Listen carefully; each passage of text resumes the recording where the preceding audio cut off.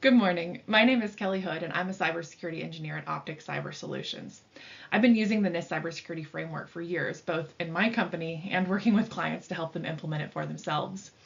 For anyone new to the CSF, and now that the 2.0 update has been officially released, I wanted to create a quick overview of what the cybersecurity framework is and why you would use it. The NIST CSF was initially released back in 2014 and underwent a minor update in 2018, but just last month, in February 2024, NIST released the first major update to the framework, resulting in the CSF 2.0. The CSF was initially created to help secure U.S. critical infrastructure, but was quickly adopted by companies across industries of all sizes. And due to its flexible nature, companies found it really helpful for figuring out what to do without having it prescribed to them of exactly how they needed to implement cybersecurity. So let's dive into what it is. The cybersecurity framework has three primary components, the core, the tiers, and the profiles. The core is a set of cybersecurity outcomes that can be used to understand what is it that I need to do in my cybersecurity program. The implementation tiers are a tool for measuring how well I'm managing those capabilities and therefore my cybersecurity risk.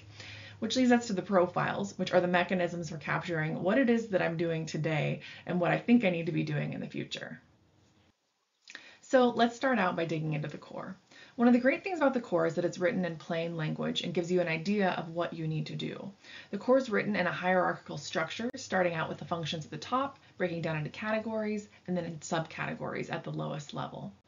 I think this has been one of the key values of the CSF over the last decade because it allows for you to talk to people at the level they are.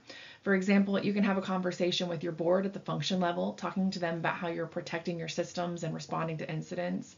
But then when you need to talk to your team, you can get into the weeds at the subcategory level, talking about your backup strategy or the new tool you're going to use for anomaly detection. The core provides flexibility for companies to figure out what works best for them and talk about it at the level that makes sense without dictating exactly what you have to do. This leads to the implementation tiers. When we start asking, how should I do this or how do I make sure I know if it's working? And the tiers can be a great tool for measuring what we've done and telling others about our goals. The CSF tiers characterize the rigor of your cybersecurity risk governance and management capabilities and are broken down into four levels, from partial to adaptive. So many organizations start out at tier one or partial due to having you know, largely ad hoc processes that may not actually address their cybersecurity risk. But as they mature their capabilities, they move up the scale to tier two, risk informed. And here that indicates that they've made a concerted effort to prioritize capabilities and protect what matters most to their business. Then we can move up to a tier three, repeatable, where we have more of an organization wide approach implemented consistently to make sure that everybody's meeting expectations and that senior leadership is in the know when it comes to cybersecurity. And many organizations choose to stop here. You don't actually have to go all the way up to tier four. But tier four adaptive, uh, you know, it can be expensive, but it is also necessary in some cases. This tier is characterized by meeting the objectives that we've already discussed, as well as looking to the future and optimizing your capabilities to make sure that you're prepared for what's coming before it hits you. So the third component I wanted to discuss today is a profile. And a profile can take many forms. It's simply a way to capture what you're doing as it relates to the CSF core. There are many types of profiles that could be created, and you don't have to use any of them at all, but they are very helpful. You know, there's organizational profiles that characterize what a specific company, such as yourself, might be doing, and there are community profiles characterizing specific outcomes or requirements based on specific industries, technologies, or threat types.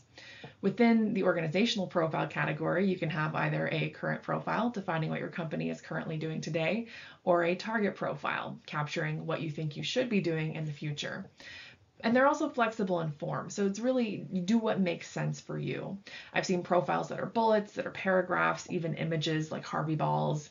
You know, do what works for your company and what's going to help you understand what you're doing and capture what you need to do in the future. To wrap things up, the CSF 2.0 is a great tool, whether you're just starting your cybersecurity journey or looking to enhance existing cybersecurity practices. Its structured yet flexible approach provides a roadmap for helping to figure out what do I need to do when it comes to cybersecurity. The CSF enables easier conversations at every level of an organization, from strategic discussions with your board to technical conversations with your IT and security teams. As you navigate the core, the tiers, and the profiles, remember that the goal is to manage your cybersecurity risks and build resilience against evolving threats. Let the CSF 2.0 guide your efforts to govern, identify, protect, detect, respond, and recover, ensuring a secure future for your organization. Additionally, check out the video notes below or the links here on the screen for some resources if you're just starting out with a NIST cybersecurity framework. My name is Kelly Hood, and please feel free to reach out with any questions or other concepts you'd like me to break down. Thanks for watching. Cyber Solutions strives to help organizations identify and address their blind spots through our assessment, implementation, and advising services. For more information about Optic Cyber Solutions and how we can help you integrate the CSF update or conduct a CSF gap assessment, reach out at info at opticcyber.com or check out our website, opticcyber.com.